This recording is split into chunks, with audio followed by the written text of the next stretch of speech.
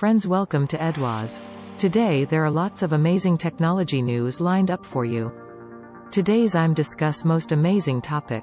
New Samsung Galaxy S23 Ultra camera leak brings glad tidings to expectant fans. Let's start the video.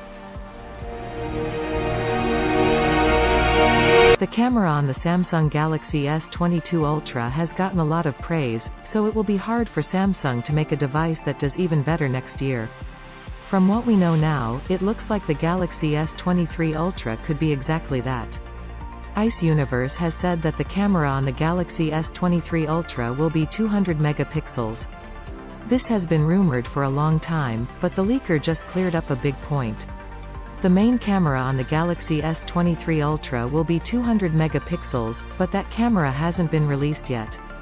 At the moment, there are only two 200 megapixel smartphone sensors, the ISOCELL HP1 and HP3, which are both made by Samsung. The HP3 is a mid-range sensor, and the HP1 will make its first appearance on the X30 Pro or Edge 30 Ultra from Motorola.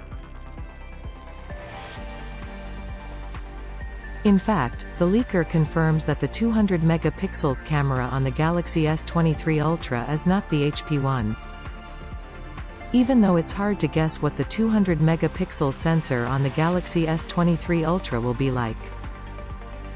It's likely to be better than the 1 over 1.22-inch HP1 on the upcoming Motorola Edge 30 Ultra.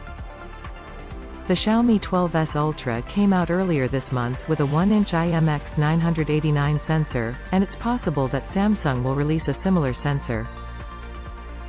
For more technology-related details click on below link. Thank you for watching.